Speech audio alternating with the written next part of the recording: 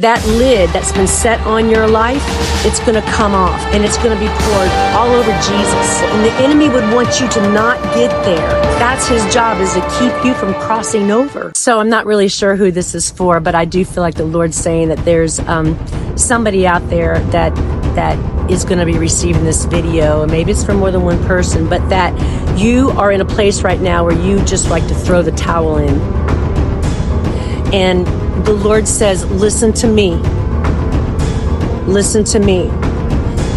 It's not time to throw the towel in on what it is I've called you to do. And this is for a musician.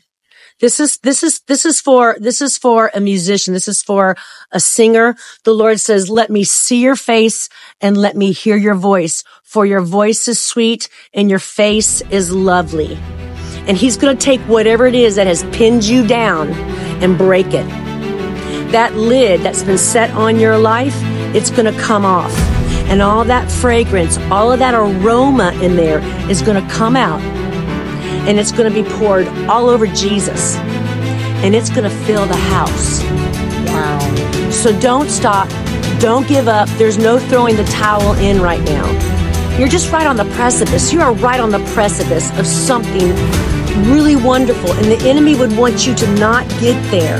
The enemy would not want you to cross over. That's his job is to keep you from crossing over. So you just stand up and you just say, No, I won't. I'm not going to throw anything in. I'm going to step over into what I've been promised. Amen.